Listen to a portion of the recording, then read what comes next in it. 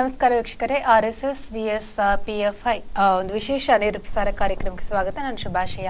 S, ಮುಖ್ಯವಾಗಿ ಇತ್ತೀಚೆಗೆ ತಾನೇ ಏನು ಬೆಂಗಳೂರಿನ ಶಿವಾಜಿನಗರದಲ್ಲಿ ರುದ್ರೇಶ್ ಅನ್ನುವಂತಹ ಆರ್ ಎಸ್ ಎಸ್ ಕಾರ್ಯಕರ್ತನ ಕೊಲೆ ಆಯಿತು. ಈ ಒಂದು ಘಟನೆಯನ್ನು ನೋಡ್ತಾ ಹೋದಾಗೆ, ಈ ಘಟನೆ ಹಿಂದೆ ಬೇರೆ ಕೊಲೆಗಳು ಕೂಡ ನಡೆದಿರುವಂಥದ್ದು. ಆರ್ ಎಸ್ ಎಸ್ ಕಾರ್ಯಕರ್ತರ ಕೊಲೆ ಕೊಲೆಗಳು ನಡೆದಿರುವಂಥದ್ದನ್ನು ನೋಡಿದರೆ ಮುಖ್ಯವಾಗಿ ಈಗ ಕೆ- ಸಾರ್ವಜನಿಕ ವಲಯಗಳಿಂದ ಕೇಳಿ ಬರುವಂತಹ ಆರೋಪಗಳನ್ನು ಕೂಡ ಗಮನಿಸಿದರೆ, ಮುಖ್ಯವಾಗಿ ಪಿ ಎಫ್ ಐ ಕಾರ್ಯಕರ್ತರು ಈ ಒಂದು ಕೃತ್ಯನ ಮಾಡಿದ್ದಾರೆ ಇದರಲ್ಲಿ ಎಸ್ ಡಿ ಪಿ ಐ ಅವರದ ಕೈವಾಡ ಇದೆ ಅನ್ನುವಂತಹ ಮಾತುಗಳು ಕೂಡ ಸಾರ್ವಜನಿಕ ವಲಯಗಳಿಂದ ಕೇಳಿ ಬರ್ತಾ ಇರುವಂತದ್ದು ಅದೇ ರೀತಿ ಈಗ ಈ ಒಂದು ಪ್ರಕರಣ ಹೊಸ ಟ್ವಿಸ್ಟ್ ಕೂಡ ಪಡ್ಕೊಳ್ತಾ ಇದೆ. ಕಾಂಗ್ರೆಸ್ನ ಬೇಗ್, ರೋಷನ್ ಬೇಗ್ ಅವರು ಕೂಡ ಈ ಒಂದು ಕೈವಾಡದ ಹಿಂದೆ ಇದ್ದಾರೆ ಅನ್ನುವಂತಹ ಮಾತುಗಳು ಕೂಡ ಕೇಳಿ ಬರ್ತಾ ಇದೆ. ಇದನ್ನೆಲ್ಲ ನೋಡ್ತಾ ಇದ್ರೆ ಎಲ್ಲೋ ಒಂದ್ ಕಡೆ ಕೋಮುವಾದ, ಕೋಮು ಸಂಘರ್ಷಗಳು ಜಾಸ್ತಿ ಆಗ್ತಾ ಇದೆಯಾ ಭಾರತದಲ್ಲಿ ಅನ್ನುವಂಥದ್ದು ನಾವು ಚಿಂತನೆ ಮಾಡಬೇಕಾಗಿದೆ. ಮುಖ್ಯವಾಗಿ ಆರ್ ಎಸ್ ಎಸ್ ಅನ್ನುವಂಥದ್ದು ಹಿಂದೂ ಸಂಘಟನೆ ಒಂದು ಪ್ರಬಲವಾದ ಒಂದು ಸಂಘಟನೆ ಅಂತಲೇ ಹೇಳ್ಬೋದು. ಅದಕ್ಕೆ ಒಂದು ಪ್ರತಿಯಾಗಿ ಏನು ಪಿ ಎಫ್ ಐ ಬೆಳೀತಾ ಇದೆಯಾ, ಏನು ಭಾರತದಲ್ಲಿ ಏನು ಭಯೋತ್ಪಾದನೆಯನ್ನು ಉಂಟು ಮಾಡುವಂಥ ಕೃತ್ಯ ಅಥವಾ ಚಟುವಟಿಕೆಗಳನ್ನು ನಡೆಸುವ ಹುನ್ನಾರ ಮಾಡ್ತಾ ಇದೆಯಾ ಪಿ ಎಫ್ ಐ ಈ ಈ ರೀತಿಯ ಒಂದು ಯೋಚನೆಗಳಿರ್ಬೋದು, ಮಾತುಗಳು ಸಾರ್ವಜನಿಕ ವಲಯಗಳಿಂದ ಕೇಳಿ ಬರ್ತಾ ಇರುವಂಥದ್ದು. ಮುಖ್ಯವಾಗಿ ಈ ಕೊಲೆಯ ಹಿಂದೆ ಯಾರ ಕೈವಾಡ ಕೈವಾಡ ಇದೆ ಅನ್ನುವಂಥದ್ದನ್ನ ಯಾರು ಏನು ಪೊಲೀಸ್ ಇಲಾಖೆಗಳಾಗಲಿ ಅಥವಾ ಸಂಬಂಧಪಟ್ಟವರೇನು ಕೂಡ ಏನು ಸರಿಯಾದ ನಿಖರವಾದ ಏನು ಮಾಹಿತಿ ಅಥವಾ ತನಿಖೆ ನಡೆಸೋದಕ್ಕೆ ಸಂಬಂಧಪಟ್ಟ ಮಾಹಿತಿನ ನೀಡಲಿಲ್ಲ. ಅವರು ಏನು ಪ್ರಚಾರ ಪಡಿಸಲಿಲ್ಲ. ಆದರೂ ಕೂಡ ಸಾರ್ವಜನಿಕ ವಲಯಗಳಿಂದ ಈ ರೀತಿಯ ಮಾತುಗಳು ಕೇಳಿ ಬರ್ತಾ ಇದೆ. ಮುಖ್ಯವಾಗಿ ಕೊಲೆಯ ಹಿಂದೆ ಯಾಕೆ ಈ ಥರದ ರೂಮರ್ಸ್ ಅಥವಾ ಗಾಳಿ ಮಾತುಗಳು ಕೇಳಿ ಬರ್ತಾ ಇದೆ? ಅಥವಾ ನಿಜಕ್ಕೂ ಈ ಒಂದು ಸಂಘಟನೆಯಿಂದ ಆಗ್ತಾ ಇರುವಂತಹ ಕೆಲಸಗಳು ಏನು, ನಿಜಕ್ಕೂ ಈ ರೀತಿಯ ಕೃತ್ಯಗಳು ನಡೀತಾ ಇದೆ ನಮ್ಮ ಭಾರತದಲ್ಲಿ ಇದ್ರ ಬಗ್ಗೆ ಎಲ್ಲ ಇವತ್ತು ಈ ಒಂದು ಕಾರ್ಯಕ್ರಮದ ಮುಖಾಂತರ ಚರ್ಚೆ ಮಾಡ್ತಾ ಇದ್ದೀವಿ. ಮುಖ್ಯವಾಗಿ ಈ ವಿಚಾರದ ಬಗ್ಗೆ ನಮ್ಮ ಜೊತೆ ಮಾಹಿತಿ ಅಥವಾ ಚರ್ಚೆ ಮಾಡಲಿಕ್ಕೆ ನಮ್ಮ ಜೊತೆ ಇದ್ದಾರೆ. ಹನೀಫ್ ಖಾನ್ ಕೋಣಾಜೆ ಇವರು ಜಿಲ್ಲಾಧ್ಯಕ್ಷರು ಎಸ್ ಡಿ ಪಿ ಐ ಇವ್ರನ್ನ ಕಾರ್ಯಕ್ರಮಕ್ಕೆ ಸ್ವಾಗತ ಮಾಡೋಣ. ನಮಸ್ತೆ, ನಿಮಗೆ ಕಾರ್ಯಕ್ರಮಕ್ಕೆ ಸ್ವಾಗತ. ಎಸ್ ವೀಕ್ಷಕರು ನೀವು ಕೂಡ ಕರೆ ಮಾಡ್ಬೋದು ಈ ಒಂದು ಕಾರ್ಯಕ್ರಮಕ್ಕೆ. ನಿಜಕ್ಕೂ R A R S S ಸಂಘಟನೆಗೆ ಒಂದು ಪ್ರತಿಯಾಗಿ ಪಿ ಎಫ್ ಐ ಬೆಳೀತಾ ಇದೆ. ಆ ನಿಜಕ್ಕೂ ಆರ್ ಎಸ್ ಎಸ್ ಕಾರ್ಯಕರ್ತರನ್ನು ಟಾರ್ಗೆಟ್ ಮಾಡಿ, ಆ, ಒಬ್ಬ- ಒಬ್ಬರ ನಂತರ ಒಬ್ಬರು ಬೆನ್ನ ಹಿಂದೆ ಬೆನ್ನ ಹಿಂದೆ ಟಾರ್ಗೆಟ್ ಮಾಡಿ ಅವನ್ನ ಕೊಲೆ ಮಾಡುವಂತ ಸಂಚು ಈ ಒಂದು ಸಂಘಟನೆಯಿಂದ ಆಗ್ತಾ ಇದೆಯಾ? ಅಥವಾ ಇದರ ಹಿಂದಿರುವಂಥ ನಿಜವಾದ ಉದ್ದೇಶ ಏನು? ಮತ್ತೆ ಮುಖ್ಯವಾಗಿ ಏನು ರುದ್ರೇಶ್ ಅವರ ಹಿಂದೆ ಹತ್ಯೆ ಹಿಂದಿರುವಂತಹ ಕೈವಾಡ ಅಥವಾ ಇದರ ಹಿಂದಿರುವಂತಹ ಸಂಚು ಯಾರ್ದು? ಇದ್ರ ಬಗ್ಗೆ ಎಲ್ಲ ಚರ್ಚೆ ಮಾಡೋಣ. ಮುಖ್ಯವಾಗಿ ಹನೀಫ್ ಖಾನ್ ಅವರಿಗೆ ನಾನು ಕೇಳಬೇಕು. ನೀವು ಎಸ್ ಟಿ ಬಿ ಐ ಜಿಲ್ಲಾಧ್ಯಕ್ಷರು. ಈ ಹಿಂದೆ ಏನು ಈ ರುದ್ರೇಶ್ ಮರ್ಡರ್ ಆದಾಗ ಏನು ಏನು ಪಿ ಎಫ್ ಐ ಇದೆ ಅವರ ಕಾರ್ಯಕರ್ತರ ಕೈವಾಡ ಇದೆ ಅನ್ನೋದಕ್ಕಿಂತ ಮುಂಚೆ ಕೂಡ ಹೆಸರು ಮುಖ್ಯವಾಗಿ ಪ್ರಬಲವಾಗಿ ಕೇಳಿ ಬಂದಿದ್ದು ಎಸ್ ಟಿ ಪಿ ಐ ಅವರದ್ದು ಕೈವಾಡ ಇದೆ ಅಂತಂದ್ಬಿಟ್ಟು. ಯಾಕೆ ಈ ಆರೋಪಗಳು ಕೇಳಿ ಬಂತು? ಇಲ್ಲಿ ಮೇಡಮ್ ಮೊದಲನೇದಾಗಿ ರುದ್ರೇಶ್ ಮರ್ಡರ್ ಆದಂತ ಸಂದರ್ಭದಲ್ಲಿ ಮೊದಲನೇದಾಗಿ ಕೇಳಿ ಬಂದಿದ್ದು ಏನಂದ್ರೆ ರುದ್ರೇಶ್ ಅವರು ಏನೋ ಒಂದು ಹಣದ ವ್ಯವಹಾರ ಮಾಡ್ತಾ ಇದ್ರು ಬಡ್ಡಿ ವ್ಯವಹಾರ ಮಾಡ್ತಾ ಇದ್ರು ಅದರಿಂದಾಗಿ ಅವರ ಮರ್ಡರ್ ನಡೆದಿದೆ ಅಂತ ಹೇಳಿ. ಆ ನಂತರ ಒಂದೆರಡು ದಿವಸ ಕಳೆದ ನಂತರ ಬಂತು ಅವರ ಪಕ್ಕದಲ್ಲಿ ಯಾವುದೋ ಒಂದು ಮುಸಲ್ಮಾನರ ಒಂದು ಗ್ಯಾರೇಜ್ ಇತ್ತು. ಆ ಗ್ಯಾರೇಜ್ ಅವರಿಗೆ ಮತ್ತು ರುದ್ರೇಶ್ ಅವರಿಗೆ ಏನೋ ಕೆಲವೊಂದು ವಿಷಯಗಳಲ್ಲಿ ಜಟಾಪಟಿ ಇತ್ತು ಅದರಿಂದಾಗಿ ಮರ್ಡರ್ ನಡೆದಿದೆ ಅಂತ ಹೇಳಿ. ಆ ನಂತರ ಒಂದು ಲೋಕಲ್ ಕಾರ್ಪೊರೇಟ್ ಅಲ್ಲಿ ಇದ್ದಂತ ಒಬ್ರು ಕಾರ್ಪೊರೇಟರ್ ಹೆಸರುಗಳು ಕೂಡ ಕೇಳಿ ಬಂತು. ಕಾಂಗ್ರೆಸ್ನ ಒಬ್ರು ಕಾರ್ಪೊರೇಟ್ ಹೆಸರುಗಳು ಕೂಡ ಬಂತು. ಈ ಹತ್ಯೆಯ ಹಿಂದೆ ಅವರ ಕೈವಾಡ ಇದೆ ಅಂತೇಳಿ. ಆ ನಂತರ ನಾಲ್ಕು ಜನರನ್ನು ಬಂಧನ ಮಾಡ್ತಾರೆ. ಅದರ ಮೊದಲಾಗಿರ್ತದೆ ಎಸ್ ಟಿ ಪಿ ಹೆಸರು ಬಂದಿದ್ದು. ಇದೆಲ್ಲ ಬರುವಾಗ ಎಸ್ ಟಿ ಪಿ ಹೆಸರು ಮತ್ತೆ ಸ್ಲೋ ಆಯ್ತು. ನಂತರ ನಾಲ್ಕು ಜನರನ್ನು ಬಂಧನ ಮಾಡ್ತಾರೆ. ಬಂಧನ ಮಾಡಿದ ನಾಲ್ಕು ಜನರು ಕೂಡ ಆ ಏರಿಯಾದಲ್ಲಿ ಇದ್ದವರು ಮತ್ತು ರುದ್ರೇಶ್ಗೆ ಪರಿಚಯ ಇದ್ದಂತವರು ಆ ನಂತರ ಅವರ ಬಂಧನ ಮಾಡಿ ಸುಮಾರು ಒಂದು ವಾರಗಳು ಆರು ದಿವಸಗಳ ನಂತರ ಬೆಂಗಳೂರಿನ ಪಾಪ್ಯುಲರ್ ಫ್ರಂಟ್ ಆಫ್ ಇಂಡಿಯಾದ ಜಿಲ್ಲಾಧ್ಯಕ್ಷರನ್ನು ಬಂಧನ ಮಾಡ್ತಾರೆ. ಈಗ ಒಂದ್ ಎರಡು ಮೂರು ವರ್ಷಗಳು ಮೊದಲು ಬಂಧನ ಮಾಡ್ತಾರೆ. ಬಂಧನ ಮಾಡಿ ನಿನ್ನೆ ಮತ್ತೆ ಇದು ರೋಷನ್ ಬೇಗ್ ಅವರ ಮೇಲೆ ಯಾರು ಪ್ರಥಮವಾಗಿ ಮರ್ಡರ್ ನಡೆದಾಗಲೇ ಅದೇ ದಿವಸ ನಮ್ಮ ಅಶೋಕ್ ಅವರು ಮತ್ತು ಶೋಭಾ ಕರಂದಜೆ ಅವರು ಪತ್ರಿಕೆಯಲ್ಲಿ ಮತ್ತೆ ಮೀಡಿಯಾದಲ್ಲಿ ಕೊಡ್ತಾರೆ. ಇದರ ಹಿಂದೆ ಸೋಷಿಯಲ್ ಡೆಮೋಕ್ರೆಟಿಕ್ ಪಾರ್ಟಿ ಆಫ್ ಇಂಡಿಯಾದ ಕೈವಾಡ ಇದೆ ಎಸ್ ಟಿ ಪಿ ಕೈವಾಡ ಇದೆ ಅಂತ ಹೇಳ್ತಾ ಇದ್ದಾರೆ. ಅದೇ ಜನ ಅದೇ ಶೋಭಾ ಕರಂದಾಜೆ ನಿನ್ನೆ ಆರೋಪ ಮಾಡ್ತಾ ಇದ್ದಾರೆ. ಇದರ ಹಿಂದೆ ರೋಷನ್ ಬೇಗ್ ಅವರು ಸುಪಾರಿ ಕೊಟ್ಟಿದ್ದು ಅಂತೇಳಿ. ನಾನಿಲ್ಲಿ ಒಂದು ಬಹಳಷ್ಟು ಸಂಶಯಾಸ್ಪದವಂತ ಒಂದು ವಿಷಯ ನಾನು ಕೇಳ್ತಾ ಇದ್ದೇನೆ. ಇದರಲ್ಲಿ ಬಹಳ ಮುಖ್ಯವಾಗಿ ತನಿಖೆ ನಡೆಸಬೇಕಾದಂತ ಪಾಯಿಂಟ್ ಅನ್ನು ಬಿಟ್ಟು ಹೋಗಿದ್ದಾರೆ ಎಲ್ಲರೂ ಕೂಡ. ಬಿಜೆಪಿ ಅವರು ಅದನ್ನು ಇಲ್ಲದಾಗಿ ಮಾಡ್ತಾ ಇದ್ದಾರೆ. ಪೊಲೀಸ್ ಅವರು ಯಾಕೆ ಆ ಕಡೆ ಗಮನ ಹರಿಸುತ್ತಿಲ್ಲ ಅಂತ ಗೊತ್ತಾಗ್ತಾ ಇಲ್ಲ. ನಿನ್ನೆ ಒಂದು ಹೇಳಿಕೆ ರುದ್ರೇಶ್ ಅವರ ಧರ್ಮಪತ್ನಿ ಅವರು ಒಂದು ಹೇಳಿಕೆ ಕೊಟ್ಟರು ರುದ್ರೇಶ್ ಅವರು ಬಿಜೆಪಿಯಲ್ಲಿ ಕಾರ್ಯಕರ್ತರಾಗಿ ಆಕ್ಟಿವ್ ಆಗಿದ್ರು ಆರ್ ಎಸ್ ಎಸ್ ಅನ್ನು ಬೆಳೆಸ್ತಾ ಇದ್ರು ಮತ್ತು ಕಳೆದ ವಿಧಾನಸಭಾ ಚುನಾವಣೆಯಲ್ಲಿ ರುದ್ರೇಶ್ ಅವರು ಒಂದು ಎಂ ಎಲ್ ಎ ಕ್ಯಾಂಡಿಡೇಟ್ಗಾಗಿ ಅಪ್ಲಿಕೇಶನ್ ಕೂಡ ಕೊಟ್ಟಿದ್ರು. ಅದು ಯಾವುದೋ ಕಾರಣ ಬೇರೊಬ್ರು ಇದ್ದ ಕಾರಣ ಅದು ರಿಜೆಕ್ಟ್ ಆಯಿತು. ಈ ಸಲ ಬರುವಂತ ಚುನಾವಣೆಯಲ್ಲಿ ಅವರು ಎಂ ಎಲ್ ಎಗೆ ಸ್ಪರ್ಧೆ ಮಾಡುವಂತ ವ್ಯಕ್ತಿಯವರು ಅದಕ್ಕಾಗಿ ಅವರು ಕೆಳಮಟ್ಟದಿಂದ ಕೆಲಸ ಮಾಡ್ತಾ ಬರ್ತಾ ಇದ್ದಾರೆ ಅಂತ ಯಾಕೆ ಕಳೆದ ಸಲ ಎಂ ಎಲ್ ಎಗೆ ನಿಂತಂತ ಏನೋ ನಿರ್ಮಲ್ ಅಂತೇಳಿ ಹೆಸರಿತ್ತು ಬಿಜೆಪಿ ಅವರು ಅವರ ಬಗ್ಗೆ ತನಿಖೆ ಮಾಡಬೇಕಿತ್ತು. ಯಾಕೆ ಇದರಿಂದ ಬಿಜೆಪಿ ಅವರ ಕೈವಾಡ ಇಲ್ಲ ಅಂತೇಳಿ ಯಾಕೆ ನೀವು ಹೇಳ್ತೀರಿ? ಅದನ್ನು ಕೂಡ ತನಿಖೆ ಮಾಡಬೇಕಾದ ಅಗತ್ಯತೆ ಇದೆ ಅಂತೇಳಿ ನನ್ನ ಅಭಿಪ್ರಾಯ. ಆ ರೀತಿ ಇದು ನಡೆದಿತ್ತು ಓಕೆ ಜಗದೀಶ್ ಅವ್ರು ನಮ್ಮ ಜೊತೆ ಇದ್ದಾರೆ ಮಾತಾಡೋಣ. ನಮಸ್ಕಾರ. ಸರ್ ನಮಸ್ಕಾರ. ಸರ್ ಸ್ಪಂದನ ಟಿವಿ ನೇರ ಪ್ರಸಾರ ಕಾರ್ಯಕ್ರಮದಲ್ಲಿ ಮಾತಾಡ್ತಾ ಇದ್ದೀರಾ? ಮುಖ್ಯವಾಗಿ ರುದ್ರೇಶ್ ಕೊಲೆ ಪ್ರಕರಣದ ಬಗ್ಗೆ ನಾವು ಮಾತಾಡ್ತಾ ಇದ್ದೇವೆ. ಈ ಒಂದು ಕೊಲೆ ಹಿಂದೆ ಏನು ಪಿ ಎಫ್ ಐ ಅವರ ಸಂಘಟನೆಯವರ ಕೈವಾಡ ಇದೆ ಅಂತ ಅಂದ್ಬಿಟ್ಟು ಈಗ ಹೊಸ ಟ್ವಿಸ್ಟ್ ಸಿಕ್ಕಿರುವಂತದ್ದು ಈ ಕೇಸ್ಗೆ. ಏನು ಕಾಂಗ್ರೆಸ್ನವರು ಅಥವಾ ರೋಷನ್ ಬೇಗ್ ಅವರ ಒಂದು, ಅವರು ಸುಪಾರಿ ಕೊಟ್ಟು ಕೊಲೆ ಮಾಡಿಸಿರೋ ಅಂಥದ್ದು ಅಂತ ನೀವೇನು ಹೇಳಿಕ್ಕೆ ಇಷ್ಟಪಡ್ತೀರಿ ಸರ್ ಎಫ್ಐನವರು ಪ್ರಥಮ ಬಾರಿಗೆ ಒಬ್ಬ ಪ್ರವೇಶಧಾರಿ ಸ್ವಯಂ ಸೇವಕನ ಕೊಲೆ ಮಾಡಿದ್ದಾರೆ ಹ್ಮ್ ಇದರಲ್ಲಿ ಖಂಡಿತವಾಗಿಯೂ ದೊಡ್ಡ ದೊಡ್ಡ ರಾಜಕಾರಣಿಗಳ ಕೈವಾಡ ಇಲ್ಲದೆ ಸಾಧ್ಯ ಇಲ್ಲ ಯಾಕಂದ್ರೆ ಒಂದು ಸಾಮಾನ್ಯ ಒಬ್ಬ ಕಾರ್ಯಕರ್ತನಿಗಂತೂ ಗಣವೇಶಧಾರಿ ಸ್ವಯಂ ಸೇವಕ ಅಂದ್ರೆ ಅದು ನೇರವಾಗಿ ಆರ್ ಎಸ್ ಎಸ್ಗೆ ಹೊಡೆತ ಹೊಡೆದ ಹೊಡೆತ ಹೊಡೆತ ಖಂಡಿತ ಎಸ್ ಇದನ್ನು ಖಂಡಿತವಾಗಿ ದೊಡ್ಡ ನಾಯಕರ ಸಪೋರ್ಟ್ ಇಲ್ಲದೆ ಮಾಡ್ಲಿಕ್ಕೆ ಸಾಧ್ಯನೇ ಇಲ್ಲ ಓಕೆ ಹಾ ಒಬ್ಬರು ಎಂ ಪಿ ಶೋಭಾ ಕರಂದ್ಲಾಜೆ ಅವರು ಹ್ಮ್ ಯಾವುದೇ ಒಂದು ಮಾಹಿತಿ ಇಲ್ಲದೆ ಇಂಥ ಒಂದು ಸ್ಟೇಟ್ಮೆಂಟ್ ಕೊಡ್ಲಿಕ್ಕೆ ಸಾಧ್ಯ ಇಲ್ಲ ಖಂಡಿತ ಅವರು ಎಷ್ಟು ಹೊತ್ತು ಹೇಳಿದಾರಂದ್ರೆ ಯಾವುದೇ ಕೇಸ್ ನನ್ನ ಮೇಲೆ ವಿರುದ್ಧ ಮಾನನಷ್ಟ ಹಾಕಿದ್ರು ನಾನು ಫೇಸ್ ಮಾಡ್ಲಿಕ್ಕೆ ತಯಾರಿಲ್ಲ ಹಾ ಓಕೆ ಸಾಮಾನ್ಯ ಕಾರ್ಯಕರ್ತ ಎಲ್ಲೊಬ್ಬ ಆ, ಕೇ- ನಮ್ಮ ರಾಜ್ಯದ ಮಂತ್ರಿಯಾಗಿದ್ದು ಈಗ ಕೇಂದ್ರದ ಆ, ಲೋಕಸಭಾ ಸದಸ್ಯರಾಗಿ ಅವ್ರು ಹೇಳ್ಬೇಕಿದ್ರೆ ಹ್ಮ್ ಖಂಡಿತವಾಗಿಯೂ ಅವರಿಗೆ ಅದರ ಬಗ್ಗೆ ಒಂದು ಮಾಹಿತಿ ಖಂಡಿತವಾಗಿಯೂ ಇದೆ ಓಕೆ ಈ ಈ ಒಂದು ಘಟನೆ ಹಿಂದೆ ಮುಖ್ಯವಾಗಿ ಕೋಮುವಾದ ಜಾಸ್ತಿ ಇದೆ ಅಂತ ಅನಿಸ್ತಾ ಇದೆ ಅಥವಾ ರಾಜಕೀಯ ಹಿನ್ನೆಲೆ ಇದು ಶಕ್ತಿ ಪ್ರೇರಿತವಾಗಿದೆ ಅಂತ ಅನಿಸ್ತಾ ಇದೆಯಾ? ಇಲ್ಲ ಇದು ಹೆಚ್ಚಾಗಿ ಕೋಮುವಾದ. ಆದ್ರೆ ಅವನು ಅಲ್ಲಿ ಬಿಜೆಪಿ ಲೀಡರ್ ಆಗಿ ಅಲ್ಲಿ ಬೆಳೀತಾ ಇದ್ದ. ಆದ್ರೆ ಅವನು ಕೊಲೆ ಮಾಡಿರುವುದು ಬಿಜೆಪಿ ಯಾವುದೇ ಕಾರ್ಯಕ್ರಮದಲ್ಲಿ ಕೊಲೆ ಮಾಡಬಹುದಿತ್ತು. ಆದ್ರೆ ಒಬ್ಬ ಆರ್ ಎಸ್ ಎಸ್ ಗಣವೇಶಧಾರಿಯನ್ನು ಮಾಡುದಿಂದ್ರೆ ಇದು ಕೋಮುವಾದ ಕೋಮುವಾದವನ್ನು ಎಬ್ಬಿಸ್ಲಿಕ್ಕೆ ಕೋಮುಗಲಭೆಯನ್ನು ಹುಟ್ಟು ಹಾಕ್ಲಿಕ್ಕೆ ಮಾಡಿದ್ದು ಅಂದ್ರೆ ಖಂಡಿತ ಅದು. ಖಂಡಿತ ಸರ್. ನಮ್ ಜೊತೆ S D P P I ಜಿಲ್ಲಾಧ್ಯಕ್ಷರಿದ್ದಾರೆ. ಅವ್ರೇನ್ ಹೇಳ್ತಾರೆ ಕೇಳ ಸರ್. ಇವರು ಕೋಮುವಾದ ಅಂತ ಹೇಳಿ ಬಲವಾಗಿ ನಾನು ಖಂಡಿತವಾಗಿ ಇದೊಂದು ಕೋಮುವಾದಿ ಹತ್ಯೆ ಅಂತೇಳಿ ಹೇಳಲಿಕ್ಕೆ ಇಷ್ಟಪಡ್ತಾ ಇಲ್ಲ ಸೇನವರವರೇ. ನನಗನಿಸ್ತಾ ಇರುವುದು ಇದೊಂದು ರಾಜ್ಯಕ್ಕೆ ಹತ್ಯೆ ಅಂತೇಳಿ ಪೊಲಿಟಿಕಲ್ ಆಫ್ ಮರ್ಡರ್ ಅಂತೇಳಿ ಇದು ಕೇಳ್ಬೋದು ಅಂತೇಳಿ ನನ್ನ ಅಭಿಪ್ರಾಯ. ಯಾಕಂದ್ರೆ ಅವರು ಕೂಡ ಕಳೆದ ಕಳೆದ ವಿಧಾನಸಭಾ ಚುನಾವಣೆಯಲ್ಲಿ ಅವರು ಕೂಡ ಒಂದು ಬಿಜೆಪಿಯಿಂದ ಅಭ್ಯರ್ಥಿ ಆಗ್ಬೇಕಂತೇಳಿ ಅಪ್ಲಿಕೇಶನ್ ಕೊಟ್ಟಿದ್ರು. ಅವರ ಧರ್ಮಪತ್ನಿ ಅವರು ಕೂಡ ನಿನ್ನೆ ಹೇಳಿಕೆ ಕೊಟ್ಟಿದ್ದಾರೆ ಸರಿ ಆಗಿರ್ಬೋದು ಆದ್ರೆ ನಾನು ಹೇಳುದು ಹಾ ಈಗ ಬಿಜೆಪಿ ಹಲವು ಹಲವು ಕಾರ್ಯಕ್ರಮದಲ್ಲಿ ಅವ ಭಾಗವಹಿಸಿರ್ಬೋದು ಅಥವಾ ಸಾಮಾಜಿಕ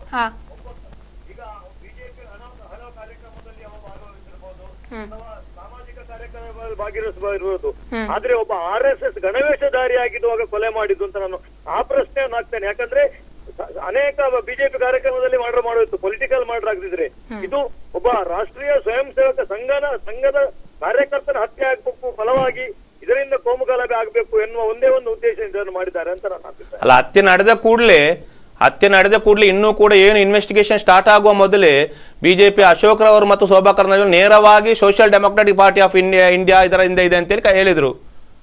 ಪ್ರಥಮವಾಗಿ. ಆನಂತರ ಅದನ್ನು ತಿರುಗಿಸಿದ್ರು ಅವರು. ಅಷ್ಟು ಬೇಗ ಅವರಿಗೆ ಗೊತ್ತಾಗುದು ಹೇಗೆ ಅಂತ ಹೇಳಿ. ಅದು ಕೂಡ ಒಂದು ಸಂಶಯಾಸ್ಪದ ಅಂತ ವಿಷಯ. ಒಂದು. ಅಲ್ಲ, ಸಂಘಟನೆ ಮೇಲೆ ಹಾಕಿದ್ದಲ್ಲ. ಸಂಘಟನೆ ಮೇಲೆ ಈಗ ಆಗ್ತಾ ಇದ್ದಾರೆ. ಅವಾಗ ಪಾರ್ಟಿಯ ಮೇಲೆ ಹಾಕಿದ್ರು. ಹ್ಮ್ ಅದನ್ನು ಯಾರು ಎಲ್ಲ ಸ್ಟೇಟ್ಮೆಂಟ್ ಕೊಟ್ಟು ಬರ್ತಾರೆ ಯಾಕಂದ್ರೆ ಹ್ಮ್ ಅದೊಂದು ಈಗ ಒಬ್ಬ ಹಿಂದೂವನ್ನು ಕೊಂದ್ರೆ ಅವನು ಪಿ ಎಫ್ ಐ ಅಂತ ಅದು ಒಂದು ಹ್ಮ್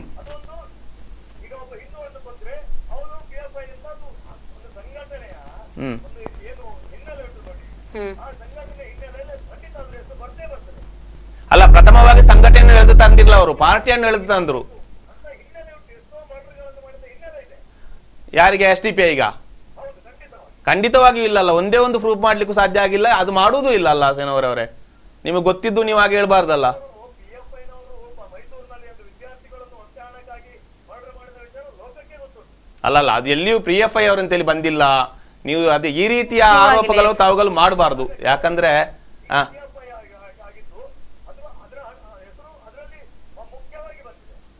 ಅಲ್ಲ ಇದರಲ್ಲಿ ಆರೋಪಗಳು ಕೇಳಿ ಬರಬಹುದು ಆದ್ರೆ ಅದು ಯಾವುದು ಸಾಬೀತಾಗಿಲ್ಲ ಎಲ್ಲಿಯೂ. ಅವ್ರು ಹೇಳ್ತಾ ಇದ್ದಾರೆ ಸಾಬೀತು ಸಾಬೀತು ಯಾವುದೂ ಆಗುದಿಲ್ಲ ಸಾಬೀತು ಎಷ್ಟೆಂತ ಮರ್ಡರ್ಗಳು ಆಗುದಿಲ್ಲ ನೋಡಿ ಬಿಜೆಪಿ ಈಗ ಸರ್ಕಾರ ಇತ್ತು ಕಾಂಗ್ರೆಸ್ ಬಿಜೆಪಿ ಸರ್ಕಾರ ಒಂದು ಹಿಂದುತ್ವದ ಪರವಾಗಿರುವ ಸರ್ಕಾರ ಅಲ್ಲ ಒಂದು ವೇಳೆ ಪಿಎಫ್ಐನವರು ಇನ್ವಾಲ್ವ್ಮೆಂಟ್ ಇಲ್ಲದಿದ್ದರೆ ಖಂಡಿತವಾಗಿಯೂ ಸಿದ್ದರಾಮಯ್ಯನವರು ಅಂತ ಸ್ಟೆಪ್ ಅನ್ನು ಅಲ್ಲದನ್ನು ಎಳೆ- ಎಳೆದಾಕೊಳ್ಳಿಕ್ಕೆ ತಯಾರಿ ಇರ್ಲಿಕ್ಕಿಲ್ಲ ಇದು ಕಾಂಗ್ರೆಸ್ ಇರುವ ಸರ್ಕಾರ ನಮಗೆ ವಿರುದ್ಧವಾಗಿರುವ ಹಿಂದುತ್ವಕ್ಕೆ ವಿರುದ್ಧವಾಗಿರುವ ಸರ್ಕಾರ ಕೂಡ ಸಿಪಿಐ ಉಂಟು ಅಂತ ಹೇಳಿದ್ರೆ ಎಷ್ಟು ಹಿಂದೆ ಎಷ್ಟು ಬಲ ಬೇಕು ನಾವು ಹೇಳೋದು ಬಿಡಿ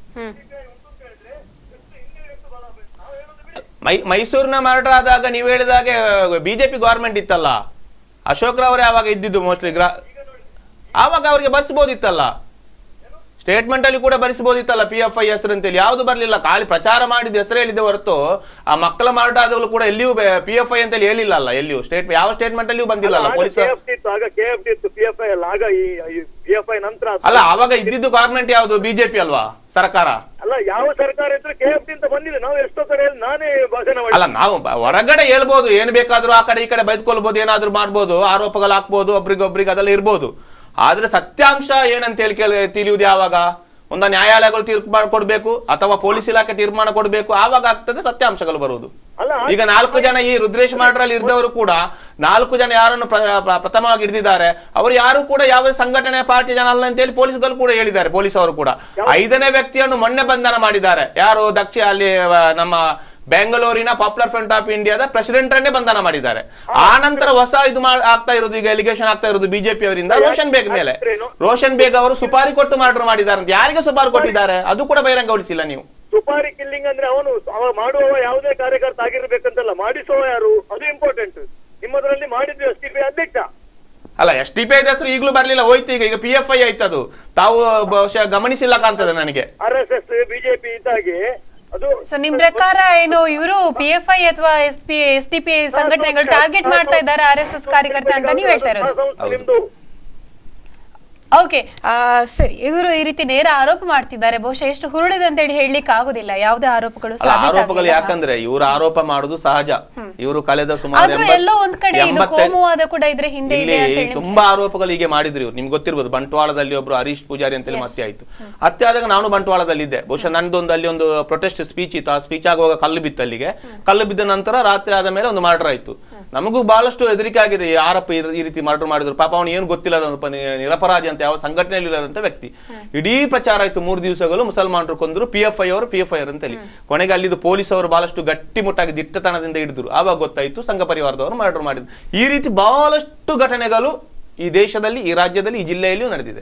ಯಾಕಂದ್ರೆ ಈಗ ಈ ತರದ್ದು ಕೊಲೆ ಪ್ರಕರಣಗಳು ಅಥವಾ ಏನಾದ್ರೂ ಈ ತರದ್ದು ಪ್ರಕರಣಗಳು ನಡೆದಾಗ ಪ್ರತಿಯೊಂದು ಬಾರಿ ಕೂಡ ಮುಸ್ಲಿಂ ಸಂಘಟನೆಗಳು ಅಥವಾ ಆ ಒಂದು ಸಮುದಾಯದವರ ಹೆಸರೇ ಎದ್ದು ಕೇಳಿ ಬರ್ತಾ ಇರೋದು ಯಾಕೆ? ಈಗ ರುದ್ರೇಶ್ ಪ್ರಕರಣದಲ್ಲಿ ಕೂಡ ಹೆಚ್ಚಾಗಿ ಆ ಏನು ಮೊಹಮ್ಮದ್ ಸಾದಿಕ್ ಇರ್ಬೋದು ಮೊಹಮ್ಮದ್ ಮುಜಿಬುಲ್ಲಾ ಇರ್ಬೋದು ಏನು ಪಿ ಎಫ್ ಐ ಅವ್ರದ್ದು ಕೂಡ ಏನು ಆರೋಪ ಮಾಡಲಾಗಿದೆ. ಯಾತಕ್ಕೋಸ್ಕರ ನಮ್ಮ ದೇಶದಲ್ಲಿ ಭಯೋತ್ಪಾದನೆಯನ್ನು.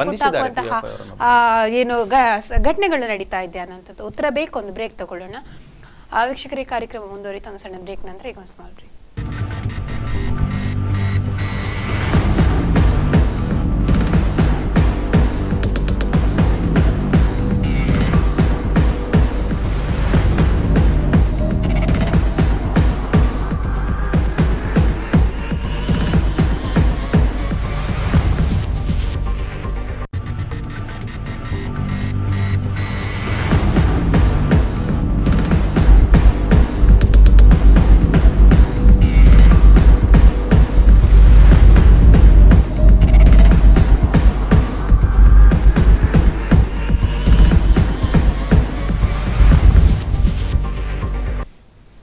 ನಂತರ ಮತ್ತೆ ವಿಶೇಷ ನೇರ ಪ್ರಸಾರ ಕಾರ್ಯಕ್ರಮಕ್ಕೆ ಸ್ವಾಗತ. ಆಗಲೇ ಹೇಳಿದ ಹಾಗೆ, ಅಕ್ಟೋಬರ್ ಹದಿನಾರರಂದು ಆರ್ ಎಸ್ ಎಸ್ನ ಕಾರ್ಯಕರ್ತರಾಗಿದ್ದಂತಹ ರುದ್ರೇಶ್, ಬೆಂಗಳೂರಿನ ರುದ್ರೇಶ್, ಮಧ್ಯಾಹ್ನದ ಹನ್ನೆರಡೂವರೆ ಸುಮಾರಿಗೆ ಕಮರ್ಷಿಯಲ್ ಸ್ಟ್ರೀಟಲ್ಲಿ ನಡ್ಕೊಂಡು ಹೋಗ್ತಾ ಇದ್ದಾಗ ಆರ್ ಎಸ್ ಎಸ್ ಏನು ಇದು ಮುಗಿಸ್ಕೊಂಡು ಬಂದವರು ನಡ್ಕೊಂಡು ಹೋಗ್ತಾ ಇದ್ದಾಗ, ಬೈಕಿಂದ ಬಂದಂಥ ಕೆಲ ಜನ ಏನು ತಲ್ವಾರಿಂದ ಹತ್ಯೆಗೈದ್ರು ಅಂತ ಕೂಡ ಹೇಳಲಾಗ್ತಾ ಇದೆ.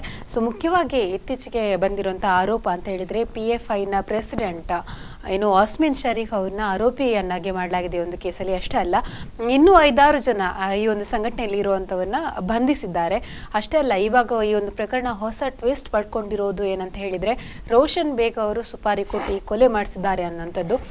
ನಿಜಕ್ಕೂ ಈ ಘಟನೆ ಹಿಂದಿರುವಂತಹ ಬಣ್ಣ ಯಾವುದು? ರಾಜಕೀಯ ಬಣ್ಣನ ಅಥವಾ ಕೋಮುವಾದದ ಬಣ್ಣನ ಅನ್ನುವಂತಹ ಒಂದು ಚರ್ಚೆ ನಾವು ಇವತ್ತು ಮಾಡ್ತಾ ಇದ್ದೀವಿ. ಎಲ್ಲೋ ಒಂದು ಕಡೆ ಆರ್ ಎಸ್ ಎಸ್ಗೆ ಪ್ರಬಲವಾಗಿ ಪಿ ಎಫ್ ಐ ಅನ್ನುವಂತಹ ಒಂದು ಸಮುದಾಯದ ಒಂದು ಸಂಘಟನೆ ಪ್ರಬಲವಾಗಿ ಬೆಳೀತಾ ಇದೆ ಅನ್ನೋಂಥ ಪ್ರಶ್ನೆ ಕೂಡ ಇದು ಖಂಡಿತವಾಗಿ ಹುಟ್ಟು ಹಾಕಿದೆ ನಾನು ಕೇಳ್ತಾ ಇದ್ದೆ ಹನೀಫ್ ಅವ್ರನ್ನ ಮುಖ್ಯವಾಗಿ ಈ ಒಂದು ಘಟನೆಗಳು, ಕೊಲೆ ಪ್ರಕರಣಗಳು ಈ ಹಿಂದೆ ಕೂಡ ಸಾಕಷ್ಟು ನಡೆದಿದೆ.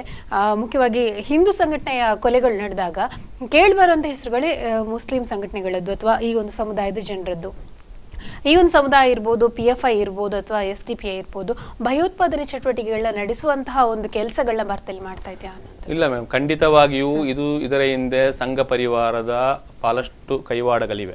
ಬಹಳಷ್ಟು ಘಟನೆಗಳಲ್ಲಿ ನೀವು ನೋಡಿ ಘಟನೆಗಳು ನಡೆದಾಗ ಮುಸಲ್ಮಾನರ ಹೆಸರು ಬರ್ತದೆ ಪಿ ಎಫ್ ಐ ಹೆಸರು ಬರ್ತದೆ ಬೇರೆ ಬೇರೆ ಸಂಘಟನೆಗಳ ಹೆಸರು ಬರ್ತದೆ ಅದು ಯಾವುದೋ ಭಯೋತ್ಪಾದನೆ ಸಂಘಟನೆ ಇರ್ಬೋದು. ಆದ್ರೆ ಅದರ ಮ್ಯಾಕ್ಸಿಮಮ್ ಆಗಿ ಒಳ್ಳೆಯ ಆಫೀಸರ್ಗಳು ಅದರ ನೈಜತೆಯನ್ನು ಕಂಡುಹಿಡಿದಾಗ ಬಹಳಷ್ಟು ಸಲ ಅದು ವಿಫಲವಾಗಿ ಹೋಗಿದೆ. ಮುಸಲ್ಮಾನರಲ್ಲ ಅಂತೇಳಿ ಆಗಿದೆ ನಿಮ್ಗೆ ಗೊತ್ತಿರ್ಬೋದು. ಸ್ಫೋಟಗಳನ್ನು ಆಗೋದು ಮಾಲೆಗಾವಲ್ಲಿ ಆಗಿರ್ಬೋದು ಮಕ್ಕಾ ಮಸೀದಿಯಲ್ಲಿ ಆಗಿರ್ಬೋದು ಅಜ್ಮೀರಲ್ಲಿ ಆಗಿರ್ಬೋದು ಎಲ್ಲಾ ಸ್ಫೋಟಕ್ಕೆ ಸಂಬಂಧಪಟ್ಟಂತೆ ಪ್ರಥಮವಾಗಿ ಮುಸಲ್ಮಾನರ ಹೆಸರು ಬಂತು. ಇದೇನೆಲ್ಲ ಮುಜಾಹಿದೀನ್ ಇಂಡಿಯಾ ಇಂಡಿಯಾ ಈ ಇಂಡಿಯಾ ಹೆಸರು ಬಂತು. ಮುಸಲ್ಮಾನ ಹುಡುಗರನ್ನು ಅರೆಸ್ಟ್ ಮಾಡಿದ್ರು. ನಂತರದ ದಿನಗಳಲ್ಲಿ ಆರೋಪಿಗಳು ನೈಜವಾದ ಆರೋಪಿಗಳು ಸಿಕ್ಕಿದ ಕೂಡಲೇ ಅವರನ್ನು ರಿಲೀಸ್ ಮಾಡಲಾಯಿತು ಏಳು ವರ್ಷ ಎಂಟು ವರ್ಷ ಮತ್ತೆ ಯಾರು ಮಾಡಿದಂತೇಳಿ ಗೊತ್ತಾಯ್ತು.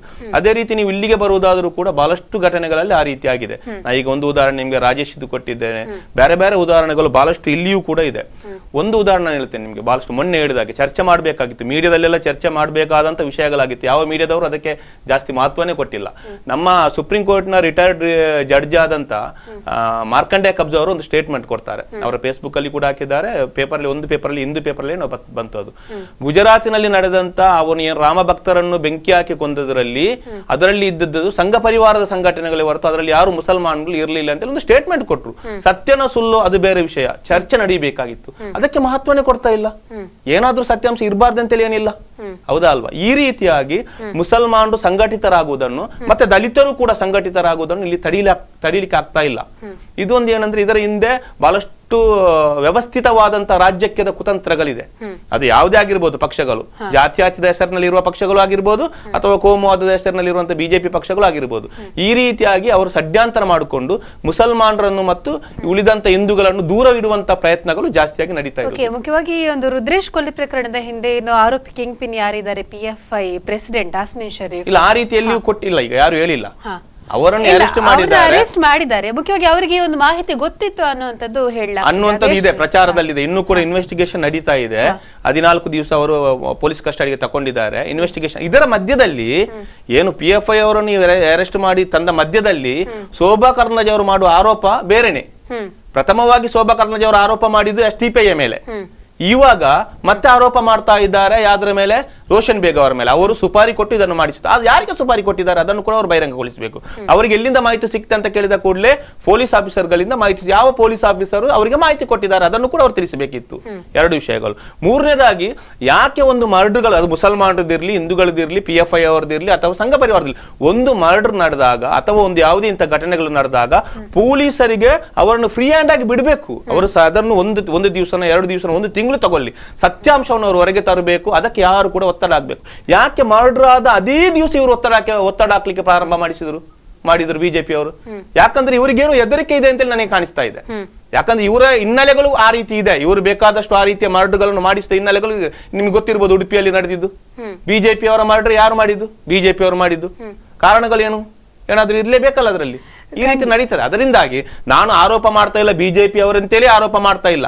ಆ ಆಂಗ್ಲ್ ಅಲ್ಲಿ ಕೂಡ ತನಿಖೆ ಮಾಡಬೇಕು. ಇವರ ವರ್ತನೆಗಳು ಕಾಣುವಾಗ ಆ ರೀತಿ ಕಾಣ್ತಾ ಇದೆ ಅಂತೇಳಿ ಓಕೆ ಖಂಡಿತವಾಗಿ. ಆದ್ರೆ ಈಗ ರುದ್ರೇಶ್ ಅವರ ನಾವು ವಿಚಾರಕ್ಕೆ ಬಂದ್ರೆ ಮುಖ್ಯವಾಗಿ ಏನಂತ ಹೇಳಿದ್ರೆ ಅವರು ಬರೀ ಒಂದು ಗ್ಯಾರೇಜ್ ವಿಚಾರದಲ್ಲಿ ಬಂದಿರುವಂತಹ ವೈಷಮ್ಯ ಬರೀ ಅಷ್ಟೇ ಅಲ್ಲ. ಮುಖ್ಯವಾಗಿ ಅವರು ಏನು ಗೋ ದಲ್ಲಾಳಿನ ಇದು ನಡೆಯುವಾಗ ಏನು ಗೋ ವ್ಯವಹಾರಗಳು ಗೋ ಸಾಗಾಟ ಎಲ್ಲ ನಡೆಯುವಾಗ ಅದನ್ನ ತಡೆಯುವಂತ ಪ್ರಯತ್ನ ಮಾಡ್ತಾ ಇದ್ರು. ಮುಸ್ಲಿಂ ಸಂಘಟನೆಗಳು ಏನು ಗೋ ವ್ಯಾಪಾರ ಮಾಡೋದಿರ್ಬೋದು ಅದನ್ನ ತಡೆಯುವಂತ ಪ್ರಯತ್ನಗಳನ್ನು ಕೂಡ ಮಾಡ್ತಾ ಇದ್ರು. ಆ ಒಂದು ದ್ವೇಷ ವೈಷಮ್ಯ ಕೂಡ ಇತ್ತು ಅನ್ನುವಂತ ಮಾತುಗಳು. ಅಲ್ಲ ಆ ರೀತಿ ಪ್ರಥಮವಾಗಿ ಇಲ್ಲೆಲ್ಲ ಬಂದಿತ್ತು ಮಾಧ್ಯಮದಲ್ಲಿ.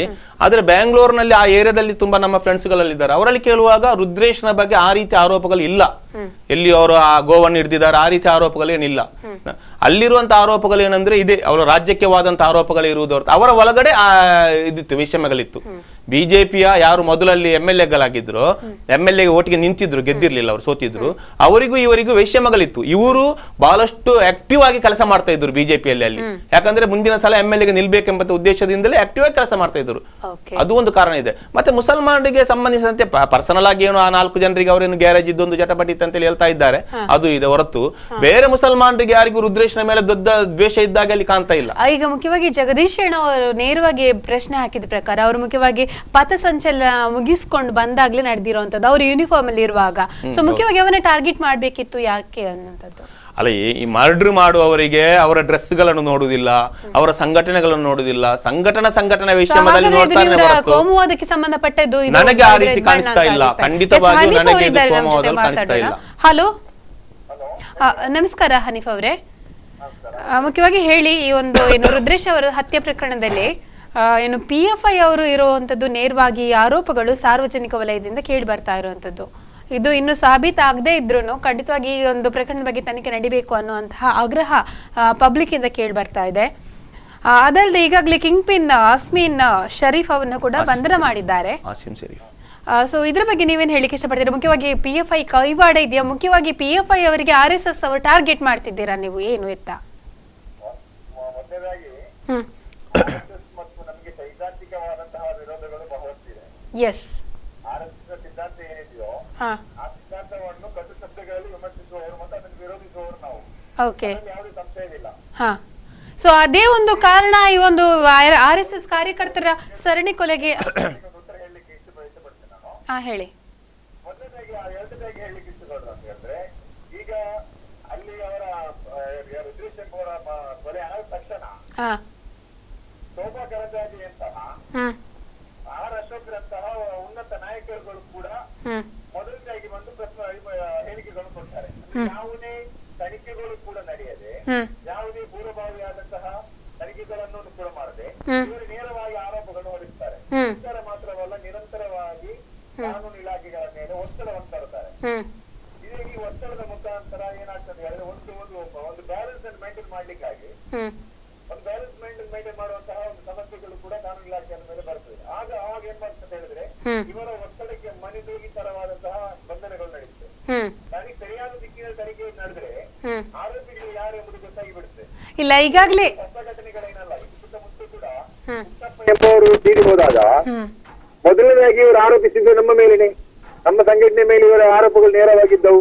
ಅದು ಸರಿಯಾದ ದಿಕ್ಕಿನಲ್ಲಿ ತನಿಖೆಗಳು ನಡೆದು ಕೊನೆಗೆ ಅದು ಪುಟ್ಟಪ್ಪನವರದ್ದು ಸಾವು ಅಸಹಜವಾದ ಸಾವು ಅದು ಸಹಜವಾದ ಸಾವು ಎಂಬ ಒಂದು ರೀತಿಯಲ್ಲಿ ಅದು ಫಲೆಯಲ್ಲ ಅದು ಅವರು ಕಾಲು ಜಾರಿ ಬಿದ್ದು ತೀರಿ ಹೋದಂತ ಹೇಳಿ ತನಿಖಾ ರಿಪೋರ್ಟ್ ವರದಿಗಳು ಹೇಳುತ್ತದೆ.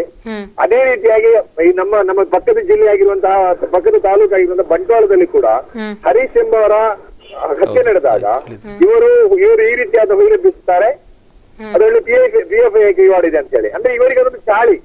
ಇವರು ಯಾವ ಘಟನೆಗಳು ನಡೆದರೂ ಕೂಡ ಅದರೊಂದಿಗೆ ಪಿ ಎಫ್ ಐ ತಲಕ ಹಾಕುವುದು ಇವರಿಗೆ ಇವರ ನಿರಂತರವಾಗಿ ಬಂದ ಇಲ್ಲ ಈಗಾಗಲೇ ಬಂಧಿಸಲ್ಪಟ್ಟಿರೋ ಒಬ್ಬ ಆರೋಪಿ ಈಗಾಗಲೇ ಬಂಧಿಸಲ್ಪಟ್ಟಿರೋ ಒಬ್ಬ ಆರೋಪಿ ಹೇಳಿರೋ ಪ್ರಕಾರ ಈ ಒಂದು ಪ್ರಕರಣ ನಡೆಯೋದಕ್ಕೆ ಮುಖ್ಯವಾಗಿ ಆ ಯಾರು ಪಿ ಎಫ್ ಐನ ಪ್ರೆಸಿಡೆಂಟ್ ಅವರದ ಕುಮ್ಮಕ್ಕಿತ ಅವರೇ ಕರೆ ಮಾಡಿ ಹೇಳಿದ್ರು ಈ ಒಂದು ಕೃತ್ಯ ನಡೆಸಬೇಕು ಅನ್ನುವಂತ ಹೇಳಿಕೆಯನ್ನು ಕೂಡ ಅವರು ಹೇಳಿದ್ದಾರೆ ಪೊಲೀಸರು ಮುಂದೆ ಒಪ್ಕೊಂಡಿದ್ದಾರೆ. ಮೇಡಮ್ ತನಿಖೆ ತನಿಖೆ ಮುಂದುವರಿತಾ ಇದೆ ತನಿಖೆ ಮುಂದುವರಿತಾ ಇದೆ. ತನಿಖೆ ಎಂಬುದು ಒಂದು ಹಂತದಲ್ಲಿ ಬಂದು ನಿಂತಿದೆ ಹೊರತು ತನಿಖೆ ಪೂರ್ಣಗೊಂಡಿಲ್ಲ. ಈಗಲೂ ಕೂಡ ಈಗಲೂ ಕೂಡ ಇವತ್ತಿನ ಕೂಡ ಡೈ ಡೈಜೋರ್ಟ್ ಮತ್ತೆ ಒಂದು ಇದರಲ್ಲಿ ವೆಬ್ ಪೋರ್ಟಲ್ ಅಲ್ಲಿ ಯಾವ ರೀತಿ ಬಂತಂತ ಹೇಳಿದ್ರೆ ಅದರಲ್ಲಿ ಪಿ ಎಫ್ ಐ ಕೈವಾಡ ಇಲ್ಲ ಎಂಬಂತಹ ರೀತಿಯ ವರದಿಗಳು ಬರ್ತಾ ಇದೆ. ಅಂದ್ರೆ ಪ್ರತಿ ಒಂದು ಘಟನೆಗಳಿಗೆ ಎರಡು ಮಗ್ಗುಲುಗಳು ಇರ್ತದೆ. ಒಂದು ಮಗ್ಗಲಿನಲ್ಲಿ ತನಿಖೆ ಸಾಗುತ್ತಾ ಇರುವಾಗ ಏಕಪಕ್ಷೀಯವಾದಂತಹ ತೀರ್ಮಾನಕ್ಕೆ ಬರಲಿಕ್ಕೆ ಸಾಧ್ಯವಾಗುವುದಿಲ್ಲ. ತನಿಖೆಯನ್ನು ಸರಿಯಾದ ರೀತಿಯಲ್ಲಿ ಸಾಗಲಿಕ್ಕೆ ಇವರು ಬಿಡ್ತಾ ಇಲ್ಲ. ಇವರು ಒತ್ತಡ ತಂತ್ರಗಾರಿಕೆನಾಗ್ತಾ ಇದ್ದಾರೆ. ಒಂದು ಉದಾಹರಣೆಗೆ, ಇವತ್ತು ಮೈಸೂರಿನಲ್ಲಿ ನಡೆದಂತ ಇನ್ಸಿಡೆಂಟ್ ಏನಿದೆಯೋ, ಆ ಇನ್ಸಿಡೆಂಟ್ ತನಿಖೆ ನಡೆಯೋದಕ್ಕಿಂತ ಮುಂಚೆನೇ ಇವರು ಇವರು ಇವರ ಪ್ರಲಾ, ಪ್ರಲಾಪಗಳು ಆರಂಭವಾಗಿ ಬಿಟ್ಟು ಇವರು ಯಾವ ರೀತಿಯಾದಂತಹ ಪ್ರಲಾಪಗಳನ್ನು ಮಾಡ್ತಿದ್ದಾರೆ ಅಂತ ಹೇಳಿದ್ರೆ, ಅದಕ್ಕೂ ನೇರವಾಗಿ ಪೇಬೈಗೆ ಸಂಬಂಧ ಇದೆ ಅಂತ ಎಂಬಂತ ರೀತಿಯಲ್ಲಿ ಇವರ ಪ್ರಲಾಪಗಳಾಗ್ತದೆ ಅಂದ್ರೆ ಇವರಿಗೆ ಇವರಿಗೆ ಇಲ್ಲಿ ಶಾಂತಿ ಬೇಕಾಗಿಲ್ಲ. ಇವ- ಇವರ ಇವರ ಉದ್ದೇಶ ಅಂತ ಹೇಳಿದ್ರೆ ಇವರ ರಾಜಕೀಯ ಬೇರೆ ಬೇಯಿಸಲಿಕ್ಕಾಗಿ ಇವರು ಈ ರೀತಿಯಾದಂತಹ ಆರೋಪಗಳನ್ನು ಮಾಡ್ತಾರೆ ಇದರಲ್ಲಿ ಬಹಳಷ್ಟು ಘಟನೆಗಳಿಗೆ ಇದು ಇವರಿಗೆ ನಮ್ಮ ನಮ್ಮ ಜೊತೆ ಇರುವಂತಹ ಸೈದ್ಧಾಂತಿಕವಾದ ವಿರೋಧವನ್ನು ಈ ರೀತಿಯಾಗಿ ಅವರು ವ್ಯಕ್ತಪಡಿಸುತ್ತಿದ್ದಾರೆ ಅಷ್ಟೇ ಓಕೆ ಮುಖ್ಯವಾಗಿ ಈ ತರದ ಘಟನೆಗಳು ನಡೆದಾಗ ಯಾಕೆ ಈ ಒಂದು ಪರ್ಟಿಕ್ಯುಲರ್ ಸಮುದಾಯದ ಹೆಸರು ಕೇಳಿ ಬರುತ್ತೆ? ಅಲ್ಲ ಅಲ್ಲಿನ ಜನಗಳೇ ಏನು ಭಯೋತ್ಪಾದನೆ ಮಾಡುವಂತ ಕೃತಿಗಳಿಗೆ ಇದು ಮುಂದಾಗ್ತಾ ಇದ್ದಾರಾ ಏನು ಅಂತ ಅಂದ್ಬಿಟ್ಟು? ಮೇಡಮ್ ಭಯೋತ್ಪಾದನೆ ಅಂದ್ರೆ ಏನು ಏನಂತ ಹೇಳಿ ಮೊದಲನೇದಾಗಿ ನಾವು ಅರ್ಥ ಮಾಡಿಕೊಳ್ಳಿ. ಯಾವ್ದು ಭಯೋತ್ಪಾದನೆ? ಅಲ್ಲ ಹಾಗಲ್ಲ ಯಾಕಂತ ಹೇಳಿದ್ರಿ ಭಯೋತ್ಪಾದನೆ.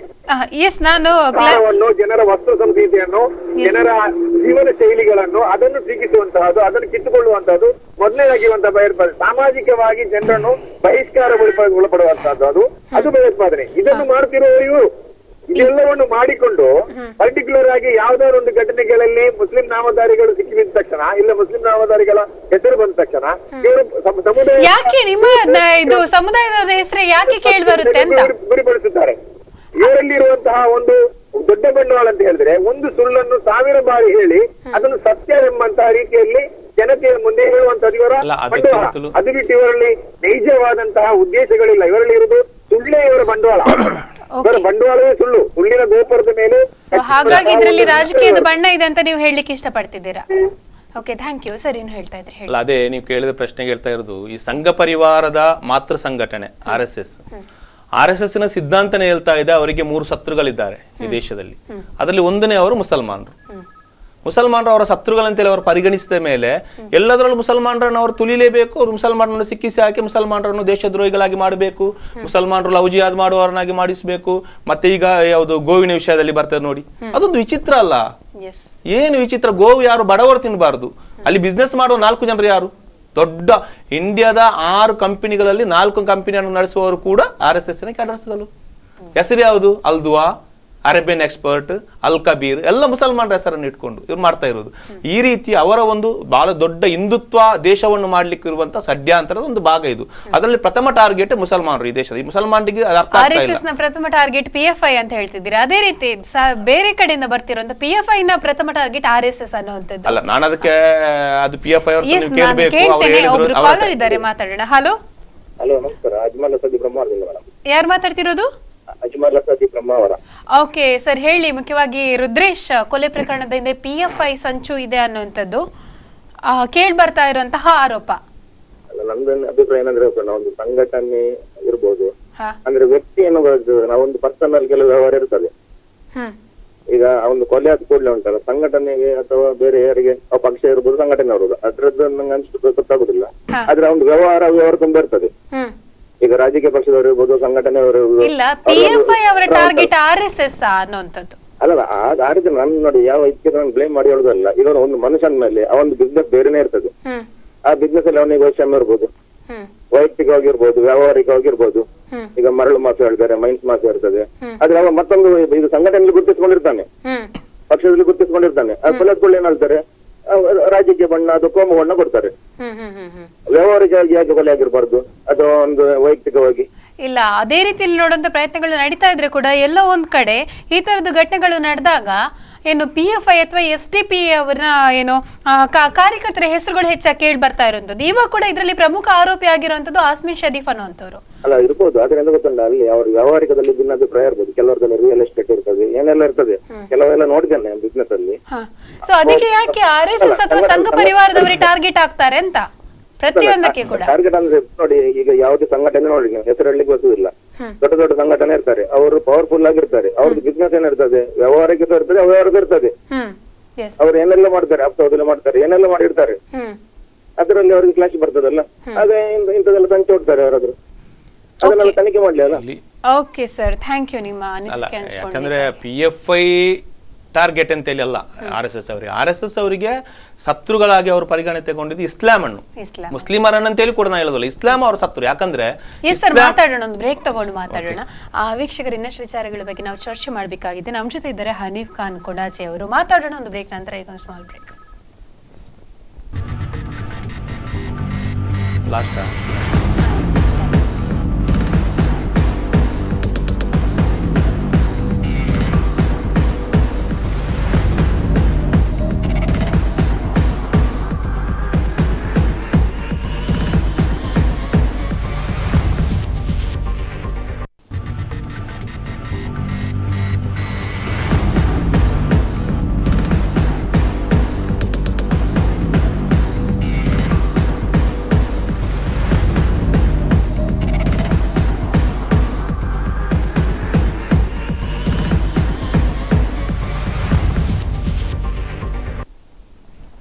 ಮತ್ತೆ ವಿಶೇಷ ನೇರ ಪ್ರಸಾರ ಕಾರ್ಯಕ್ರಮಕ್ಕೆ ಸ್ವಾಗತ. ನಮ್ಮ ಇದ್ದಾರೆ ಹನೀಫ್ ಖಾನ್ ಕೊಣಾಜೆ ಅವರು. ಅದೇ ರೀತಿ ಈಗಾಗಲೇ ಹತ್ಯೆ ಆಗಿರುವಂಥದ್ದು ರುದ್ರೇಶ. ಇವರು ಆರ್ ಆರ್ ಎಸ್ ಎಸ್ ಕಾರ್ಯಕರ್ತರು, ಸಿವಿಲ್ ಕಾಂಟ್ರಾಕ್ಟರ್ ಆಗಿದ್ರು, ಅದೇ ರೀತಿ ರಿಯಲ್ ಎಸ್ಟೇಟ್ ಉದ್ಯಮಿ ಕೂಡ ಆಗಿದ್ರು ಅಷ್ಟೇ ಅಲ್ಲ, ಬಡ್ಡಿ ವ್ಯವಹಾರ ಕೂಡ ಮಾಡ್ತಾ ಇದ್ರು. ಮುಖ್ಯವಾಗಿ ಏನು ಗ್ಯಾರೇಜ್ನಲ್ಲಿ ಸಂಭವಿಸಿದಂಥ ದ್ವೇಷಕ್ಕಾಗಿ ಕೊಲೆ ನಡೀತು ಅಂತ ಹೇಳಲಾಗ್ತಿದೆ. ಜೊತೆ ಜೊತೆಗೆ ರುದ್ರೇಶ್ ಅವರು ಗೋ ಸಾಗಾಣಿಕೆ ಇದನ್ನೆಲ್ಲ ತಡೆಯುವಂತ ಕೆಲಸಗಳಲ್ಲಿ ಸಕ್ರಿಯರಾಗಿದ್ರು. ಇವರ ಬಗ್ಗೆ ಇವರ ಬಗ್ಗೆ ಏನೋ ಒಂದು ಸಮುದಾಯಕ್ಕೆ ಅಸಮಾಧಾನ ಆಯಿತು. ಅದಕ್ಕೋಸ್ಕರ ಈ ದ್ವೇಷದ ಹಿನ್ನೆಲೆಯಲ್ಲಿ ಕೂಡ ಕೊಲೆ ನಡೆದಿದೆ ಅನ್ನುವಂಥದ್ದನ್ನ ಹೇಳಲಾಗ್ತಿದೆ. ಅಷ್ಟೇ ಅಲ್ಲ, ಈಗಾಗಲೇ ಏನು ಆರೋಪ ಹೊತ್ಕೊಂಡಿದ್ದಾರೋ ಆಸ್ಮಿನ್ ಶರೀಫ್ ಅವರು. ಅವರು ಆಲೂಮ್ನ ಅನ್ನುವಂತಹ ಒಂದು ಸಂಘಟನೆಯ ಜೊತೆ ನಿರಂತರ ಸಂಪರ್ಕ ಹೊಂದಿದ್ದಾರೆ ಅನ್ನುವಂತಹ ಆರೋಪಗಳು ಕೂಡ ಕೇಳಿ ಬರ್ತಿದೆ. ಇನ್ನಷ್ಟು ಚರ್ಚೆಯನ್ನು ಮುಂದುವರಿಸಬೇಕಾಗಿದೆ. ಅದಕ್ಕಿಂತ ಮುಂಚೆ ಒಬ್ರು ಕಾಲರ್ ಇದ್ದಾರೆ ಮಾತಾಡೋಣ. ಹಲೋ ಹಲೋ ನಮಸ್ಕಾರ. ನಮಸ್ಕಾರ ಹೇಳಿ ತಮ್ಮ ಹೆಸರು. ಮಾತಾಡ್ತಾ ಇದ್ದೇನೆ ಹೇಳಿ ಹೆಸರು ಹೇಳಿ. ಪೀರ್ ಮೊಹಮ್ಮದ್. ಓಕೆ ಸರ್ ಹೇಳಿ ಇವಾಗ ರುದ್ರೇಶ್ ಅವ್ರದ್ದು ಹತ್ಯೆ ಆಗಿದೆ ಅಲ್ಲ? ಇದ್ರ ಹಿಂದೆ ಪಿ ಎಫ್ ಐ ಅವರ ಕೈವಾಡ ಇದೆ ಅನ್ನುವಂಥದ್ದು. ನಿಮ್ ಪ್ರಕಾರ ನಾನು ಎಲ್ಲ ಬಿಟ್ಟು ಬೇರೆ ಒಂದು ವಿಷಯವನ್ನು ನಿಮ್ಮ ಹತ್ರ ಹೇಳ್ತೇನೆ. ಹೇಳಿ. ನೋಡಿ ಪೊಲೀಸರು ಹತ್ಯೆಯ ಬಗ್ಗೆ ಕಾರ್ಯಾಚರಣೆ ಮಾಡ್ತಾರೆ ಎಲ್ಲಾ ಕೆಲಸ ಅವರ ಕೆಲಸ ಅವರು ಮಾಡ್ತಾ ಇದ್ದಾರೆ. ಈ ಕರಂದ್ಲಾಜೆಗೆ ಅವರ ಹತ್ರ ಯಾವ್ದಾದ್ರೂ ಸಬೂತ್ ಇದ್ದರೆ ಅವರು ಒಂದು ಒಂದು ಎಂ ಪಿ ಅವ್ರು ಎಂ ಪಿ ಅಂತ ಹೇಳಿ ಅವ್ರಿಗೆ ಗೊತ್ತಿಲ್ಲ. ಎಂ ಪಿ ಆಗಿ ಅವರು ಅಂತ ಕೆಲಸ ಮಾಡಿಲ್ಲ. ಆದ್ರೂ ಪೊಲೀಸ್ ಡಿಪಾರ್ಟ್ಮೆಂಟ್ ಗಾದ್ರೂ ಗೊತ್ತಿರ್ತದೆ ಇಪ್ಪತ್ತೆಂಟು ಎಂ ಪಿಗಳಲ್ಲಿ ಅವರು ಒಬ್ರು ಅಂತ. ಅವರು ಅವರ ಏನು ಸಬೂಬುಂಟು ಅದನ್ನೆಲ್ಲ ಹಿಡಿದು ಎಲ್ಲ ಆಗುವವರೆಗೆ ಪಬ್ಲಿಷ್ ಮಾಡಬಾರ್ದಿತ್ತು ಅವರು. ಅವ್ರ ಹತ್ರ ನಿಜವಾಗಿ ಅವರಿಗೆ ಹಾ ಮಿನಿಸ್ಟ್ರಿಯಲ್ಲಿ ಎಲ್ಲ ಸರ್ಕಾರವನ್ನೇ ಅಡಿಮೇಲ್ ಮಾಡಿ ನಾಳೆ ಅವರೇ ಚೀಫ್ ಮಿನಿಸ್ಟರ್ ಆಗಿ ಕುತ್ಕೊಳ್ಬಹುದಿತ್ತು ಹೌದಾ? ಇಂಥದ್ದೆಲ್ಲ ಕಚ್ರಾ ಕೆಲಸ ನಮ್ಮ ರಾಜಕೀಯದ ಯಾರು ಮಾಡಿದ್ರು ಮೂರ್ಖತ ನಾವು ನೋಡಿ ಪೊಲೀಸವರಿದ್ದಾರೆ ಅವ್ರಿಗೆ ಕೊಡಿ. ಅವ್ರು ಮಾಡ್ತಾರೆ ಯಾವ ಸಂಘಟನೆ ಏನ್ ಕೆಲಸ ಆದ್ರೂ ಮುಂಚಿನ ಕಾಲದಲ್ಲಿ ಪಾಕಿಸ್ತಾನದಲ್ಲಿ ಏನ್ ಅವ್ರು ಏನ್ ಮಾಡಿದ್ರು ಅಡ್ವಾಣಿ ಹೇಳ್ತಾ ಇದ್ರು ಅದು ಪಾಕಿಸ್ತಾನದ ಕೈವಾಡ ಅಂತ. ಈಗ ಏನಾಗಿದೆ? ಎಲ್ಲಿ ಒಂದು ಇಲಿ ಸತ್ತು ಬಿದ್ರು ಅವ ಮುಸ್ಲಿಂ ಸಂಘಟನೆ ಇರಬಹುದು ಅಂತೇಳಿ ಶಂಕಿಸುವಲ್ಲಿಗೆ ನೀವು ಬಂದಿದ್ದೀರಿ. ಅದನ್ನು ಯಾರು ಏನ್ ಮಾಡ್ಲಿಕ್ಕೆ ಆಗುದಿಲ್ಲ. ಈ ಮೀಡಿಯಾದವರಿಂದಲೇ ಅದು ಉದ್ಭವ. ಅದು ಇರ್ತದೆ. ಆದ್ರೆ ಈ ರಾಜಕೀಯದವರಿಗೆ ನಿಜವಾಗಿ ನೇರ ನೇರ ಇದು ಮಾಡುವಂತದ್ದು ಅದು ಬಹಳ ಮೂರ್ಖತನ. ಅವರು ಎಂ ಪಿ ಆಗಿ ಅವರು ಮಾಡಬೇಕಾದಂತ ಕೆಲಸ ಯಾವುದು ಮಾಡುದಿಲ್ಲ. ಇಂಥದ್ದೆಲ್ಲ ಇಲ್ಲದನ್ನ ಮಾಡಿ ಜನರ ಮನಸ್ಸಿನಿಂದ ಬಹಳ ದೂರ ಹೋಗ್ತಾರೆ ಅವರು. ಒಳ್ಳೆ ಮೋದಿಯ ಕೈದರಿಂದ ಬಂದ್ರು. ಆದ್ರೆ ಅವರು ತನ್ನ ಸ್ವಂತ ಟೀಕೆಯನ್ನು ಐದು ವರ್ಷದಲ್ಲಿ ಒಳ್ಳೆ ಕೆಲಸ ಮಾಡುದು ಬಿಟ್ಟು ಅವರ ಏರಿಯಾದಲ್ಲಿ ಒಂದು ಸಲ ಅವರನ್ನು ಇಲ್ಲಿ ನಾವು ಹೆಸ- ಹೆಸರಿಟ್ಟಿದ್ದೇವೆ ಅತಿಥಿ ಎಂ ಪಿ ಅಂತ. ಯಾಕೆಂತ ಹೇಳಿದ್ರೆ ಯಾವ್ದೋ ಎಲ್ಲಿಯೋ ಒಂದು ಪೇಪರ್ನಲ್ಲಿ ನೋಡುದು. ಅವರು ನೋಡಿ ವಿನ್ ಆಗುವಾಗ ಮುಂಚೆ ಹೇಳಿದ್ರು ನೋಡಿ ನಾವು ಈ ಆಧಾರ್ ಕಾರ್ಡ್ ಅನ್ನು ಮಾಡಿದ್ದಾರೆ ಕಾಂಗ್ರೆಸ್ ಅದಂತ ಕೆಟ್ಟ ಕೆಲಸ ಅಂತ ಒಂದು ಪೇಪರ್ನಲ್ಲಿ ಹೇಳಿಕೆ ಕೊಟ್ಟಿದ್ದಾರೆ. ಓಕೆ ಸರಿ ನೀವು ಈಗ ಹೇಳ್ತಿರೋದು ಈ ಪ್ರಕರಣದ ಹಿಂದೆ ಇರುವಂತದ್ದು ರಾಜಕೀಯ ಬಣ್ಣ ಅಂತ ಹೇಳಿ ಹೇಳ್ತಿದ್ದೀರಾ ನೀವು? ಹೌದು ಅಡಿಕೆ ಕೆಲಸ ಇರುವಾಗ ನಂಗೆ ಆರು ತಿಂಗಳು ಕೊಡಿ ನಾ ಎಲ್ಲಾ ಸರಿ ಮಾಡ್ತೇನೆ ಅಂತ ಹೇಳ್ತಾರೆ. ಇದು ಎಲ್ಲಿ ಇವರಿಗೆಲ್ಲ ಸುಳ್ಳು ಹೇಳುವ ಕೆಲಸ ಇವರಿಗೆ ಇರುವಾಗ ಇರ ನ್ಯಾಯಾಂಗಕ್ಕೆ ಇವರು ಯಾಕೆ ಕೈ ಹಾಕ್ತಾರೆ? ಪೊಲೀಸ್ನವ್ರಿಗೆ ಕೊಡಿ. ಯಾರೇ ಇರ್ಲಿ ಮುಸ್ಲಿಂ ಅವ್ರು ಕೊಲ್ರಿ ಬಿಜೆ ಅವ್ರು ಕೊಲ್ರಿ ಇವರು ಕೊಲ್ರಿ ನಿಜವಾಗಿ ಇದ್ರಲ್ಲಿ ಏನಾಗ್ತದೆ ಗೊತ್ತಾ? ಶೋಭಕ್ಕನಿಗೆ ಹಂಡ್ರೆಡ್ ಪರ್ಸೆಂಟ್ ಗೊತ್ತುಂಟು ಯಾರು ಮಾಡಿದ್ದು ಅಂತ. ಅದಕ್ಕೆ ಅವ್ರು ಇನ್ನೊಬ್ಬನೇ ಹೆಸರು ಮಾಡ್ತಾರೆ. ಯಾಕೆ ನಾವು ಹೇಳ್ಬಾರ್ದು ಶೋಭಕ್ತನದ್ದೇ ಕೆಲಸ ಆ ಮುಸ್ಲಿಂ ಸಂಘಟನೆಯನ್ನು ಹಾಳು ಮಾಡ್ಲಿಕ್ಕೋಸ್ಕರ ಅವರೇ ಮಾಡಿಸಿದ್ದಾರೆ ಅಂತ ಯಾಕೆ ಹೇಳ್ಬಾರ್ದು? ಎದ್ದು ತಟ್ಟಿ ಹೇಳ್ತೇನೆ ನಾನು. ಓಕೆ ಸರ್ ನಿಮ್ಮ ಅನಿಸಿಕೆ ಹಂಚ್ಕೊಂಡಿದ್ದಕ್ಕಾಗಿ ಧನ್ಯವಾದ. ಸರ್ ನೀವೇನ್ ಹೇಳ್ತೀರಾ? ಮುಖ್ಯವಾಗಿ ಇವರು ಶೋಭಾ ಕರಂದ್ಲಾಜೆ ಅವರಿಂದ ಮಣ್ಣೆರಚುವಂಥದ್ದು ಕೊಳಚೆ ಎರಚುವಂತ ಕೆಲಸ ಮಾಡ್ತಿದ್ದಾರೆ ಅಂತ ಹೇಳಿ ಇವರು ಹೇಳ್ತಾ ಇದ್ದಾರೆ. ಮುಖ್ಯವಾಗಿ ಹಾ. ಅದರಲ್ಲಿ ಸಂಶಯ ನಾನು ಆಗ್ಲೇ ಹೇಳಿದಲ್ಲ ಇದೊಂದು ರಾಜ್ಯಕ್ಕೆ ನಡೆದಂತ ಹತ್ಯೆ ಅಂತ ಹೇಳಿ ನನಗೆ ಕಾಣಿಸ್ತಾ ಇದೆ. ಯಾರೇ ಆಗಲಿ ಯಾವುದೇ ಕಾರಣ ನಾನು publish ಪ್ರ- ಮಾಡ್ಬಾರ್ದಿತ್ತು. ಪ್ರಪ್ರಥಮವಾಗಿ ಹೇಳ್ತಾ. ಇರೋದು ಎಲ್ಲಾ ಪಕ್ಷಗಳು ಕೂಡ ಹತ್ಯೆಯ ರಾಜ್ಯಕ್ಕೆ ಮಾಡಬಾರದು. ಮರ್ಡರ್ ಆಫ್ ಪಾಲಿಟಿಕ್ಸ್ ನಿಲ್ಲಿಸಬೇಕು. ಇದನ್ನು ಇಂಡಿಯಾದಲ್ಲಿ ಪ್ರಾರಂಭಿಸಿದವರೇ ಬಿಜೆಪಿ ಪಕ್ಷ. ಮತ್ತು ಅವರ ಪರಿವಾರಗಳು. ಅವರೇ ಪ್ರಾರಂಭಿಸಿದ್ದು. ಆನಂತರ ಬೇರೆ ಬೇರೆ ಹಂತದಲ್ಲಿ ತನಿಖೆ ನಡೀತಾ ಇರುವಾಗ ಅವರು ಅದನ್ನ ರಿವೀಲ್ ಮಾಡಬಾರ್ದಿತ್ತು ಹೇಳ್ಬಾರ್ದಿತ್ತು ಅನ್ನೋದನ್ನ ಇವರು ಹೇಳ್ತಿದ್ದಾರೆ. ಹೌದು ಅಲ್ಲ ಈಗ ಅವರಿಗೆ ಗೊತ್ತಿದ್ರೆ ಅವರದೊಂದು ಎವಿಡೆನ್ಸ್ ರೂಪದಲ್ಲಿ ಯಾರಿಗೆ ಗೊತ್ತಬೇಕಿತ್ತು ಅಲ್ಲಿ ಕೊಡ್ಬೇಕಿತ್ತು. ಅವರು ಪಬ್ಲಿಕ್ ಅಲ್ಲಿ ಹೇಳ್ಬೇಕಾದಂತ ಅವಶ್ಯಕತೆನೇ ಇರಲಿಲ್ಲ. ಒಂದು ಎಂ ಪಿ ಆಗಿ. ಪ್ರಥಮವಾಗಿ ಅದು ಒಂದೇ ಸಲ ಒಂದು ರೋಷನ್ ಬೇಗನ ಮೇಲೆ ಆರೋಪ ಮಾಡಿದ್ರೆ ಓಕೆ ಏನೋ ಇದೆ ಅಂತ ನೋಡಿ. ಪ್ರಥಮವಾಗಿ ಇವ್ರು ಏನ್ ಮಾಡಿದ್ರು? ಮರ್ಡರ್ ಆದಾಗ ಯಾರ ಮೇಲೆ ಆರೋಪ ಮಾಡಿದ್ರು ಹಾಕಿದ್ರು? ಎಸ್ ಡಿ ಪಿ ಐ ಮೇಲೆ ಹಾಕಿದ್ರು. ಇಬ್ರು ಸೇರ್ಕೊಂಡು. ಮತ್ತೆ ಈಗ ಈಗ ರೋಷನ್ ಬೇಗ ಟರ್ನ್ ಆಯ್ತು. ಅವತ್ತು ಹೇಳ್ಬೇಕಿತ್ತಲ್ಲ ಇವರು? ಅಂದ್ರೆ ಇದರ ಮಧ್ಯದಲ್ಲಿ ನಾನು ಅದೇ ಹೇಳ್ತಾ ಇರುವುದು. ಈ ರುದ್ರೇಶ್ ಅವರು ಏನಿದ್ದಾರೋ ಅವರು ಕೂಡ ಒಂದು ವಿಧಾನಸಭೆಗೆ ನಿಲ್ಲಿಕ್ಕೆ ಎಂ ಎಲ್ ಎ ಆಗ್ಲಿಕ್ಕೆ ಇಷ್ಟ ಇದ್ದ ರೀತಿಯಲ್ಲಿ ಆ ಏರಿಯಾದಲ್ಲಿ ಕೆಲಸ ಮಾಡ್ತಾ ಇರುವಾಗ ಅವರ ಮರ್ಡರ್ ನಡೆದಿದೆ. ಅದರ ಹಿಂದೆ ಅದನ್ನು ಕೂಡ ತನಿಖೆ ಮಾಡಬೇಕು. ನಾನು ಅದನ್ನು ಬಲವಾಗಿ ಅವರೇ ಅಂತ ಹೇಳ್ತಾ ಇಲ್ಲ. ಇದು ಸತ್ಯಾಂಶ ಇರ್ಬೋದು. ಅದರ ಸೈಡ್ ಅಲ್ಲಿ ಕೂಡ ತನಿಖೆ ನಡೆಯಬೇಕು. ಅದರಿಂದಾಗಿ ಇವರು ಒತ್ತಡ ಹಾಕುದು ಯಾಕೆ? ಈಗ ಒಂದು ಆರೋಪಿಯನ್ನು ಹಿಡ್ದಿಲ್ಲ. ಸರಿಯಪ್ಪ ಒತ್ತಡ ಹಾಕೋದಕ್ಕೆ ಅರ್ಥ ಇದೆ. ನಾಲ್ಕು ಜನರು ಮುಸಲ್ಮಾನನ್ನು ಹಿಡ್ದಿದ್ದಾರೆ. ಪೊಲೀಸ್ ತನಿಖೆ ಮಾಡ್ತಾ ಇದೆ. ಕಮಿಷನರ್ ಅವರು ಖುದ್ದು ಅದರಲ್ಲಿ ಇಂಟ್ರೆಸ್ಟ್ ಆಗಿ ತನಿಖೆ ಮಾಡ್ತಾ ಇದ್ದಾರೆ. ಸರ್ಕಾರ ಅದರ ಹಿಂದೆ ಕಡೆ ಬಹಳಷ್ಟು ವ್ಯವಸ್ಥಿತವಾಗಿ ತನಿಖೆ ಮಾಡುವ ರೀತಿಯಲ್ಲಿ ಪ್ರೇರಣೆನೂ ಕೊಟ್ಟಿದೆ. ನಮಗೆಲ್ಲ ತಿಳ್ಕೊ ತಿಳ್ಕೊಳ್ಳುವಂತ ವಿಷಯ ಅದು. ಆನಂತರ ಇವರು ಯಾಕೆ ಮತ್ತೆ ಮತ್ತೆ ಪ್ರಸಾರ ಮಾಡಿ ಅದನ್ನು ನಿಲ್ಲಿಸುವಂತ ವ್ಯವಸ್ಥೆ ಮಾಡುದು? ಇದು. ನಿಜವಾಗಿ ನಾನು ಆಗ ಮಾತಲ್ಲಿ ನಿಲ್ಲಿಸಿದೆ. R S S actually R S ಎಸ್ಗೆ ಪ್ರಥಮ ಶತ್ರುವೇ ಇಸ್ಲಾಂ.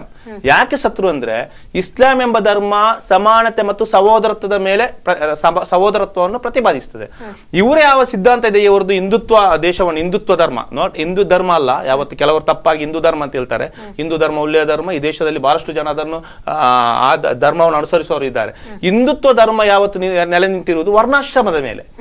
ಅದು ವರ್ಣಾಶ್ರಮ ಮತ್ತು ಈ ಸಮಾನತ ಸಹೋದರತ್ವಕ್ಕೆ ಪರಸ್ಪರ ಯಾವತ್ತೂ ಕೂಡ ವೈರೋತ್ತರ ಅದು ಒಟ್ಟಿಗೆ ಸೇರ್ಲಿಕ್ಕೆ ಸಾಧ್ಯ ಮತ್ತೆ ಕೊನೆಯದಾಗಿ ಮತ್ತೊಂದು ಪ್ರಶ್ನೆ ಕೇಳಬೇಕು. ಮುಖ್ಯವಾಗಿ ಈಗಾಗಲೇ ಆರೋಪಿ ಅಂತ ಹೇಳಲಾಗಿರುವ ಅಸ್ಮೀನ್ ಶರೀಫ್ ಅವರಿಗೆ ಅಲ್ಲುಮ್ನಾ ಅನ್ನುವಂತಹ ಭಯೋತ್ಪಾದನಾ ಸಂಘಟನೆ ಜೊತೆ ಸಂಪರ್ಕ ಇದೆ ಅಂತ ಹೇಳಿ ಹೇಳಲಾಗ್ತಿದೆ.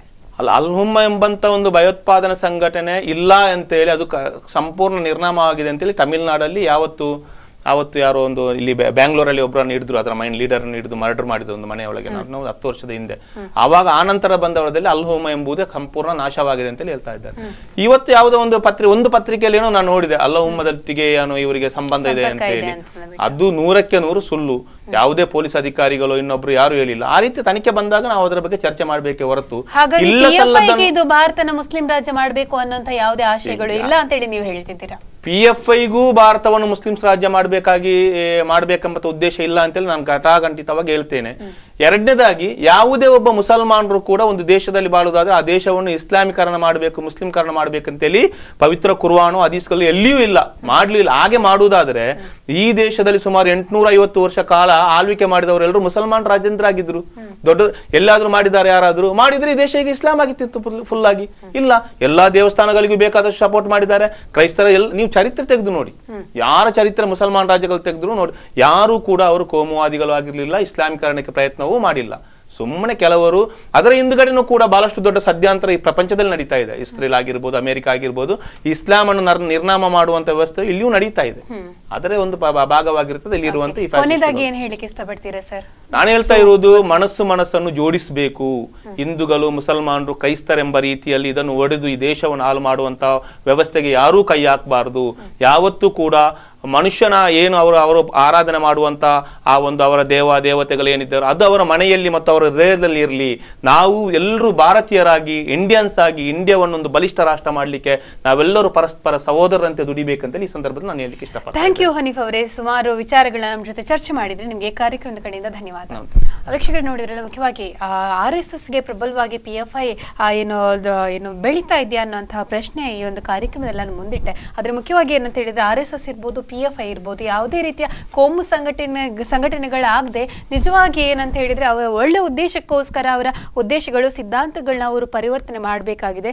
ನಿಜಕ್ಕೂ ರುದ್ರೇಶ್ ಕೊಲೆ ಹಿಂದಿರುವ ಅಂತಹ ಏನು ಯಾರು ಸಂಚು ಮಾಡಿದ್ದಾರೆ, ಅವರಿಗೆ ತಕ್ಕ ಶಿಕ್ಷೆ ಆಗಬೇಕು, ಸೂಕ್ತವಾದ ತನಿಖೆ ನಡಿಬೇಕು ಅನ್ನುವಂಥದ್ದು ನಮ್ಮ ಆಶಯ ಕೂಡ.